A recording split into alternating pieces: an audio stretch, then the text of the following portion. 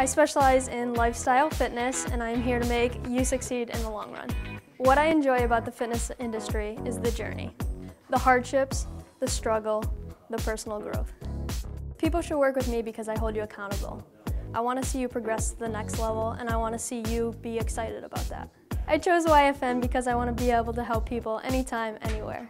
Fun fact about me, I like crazy socks, I train Muay Thai, and I hiked the entire Appalachian Trail in 2014.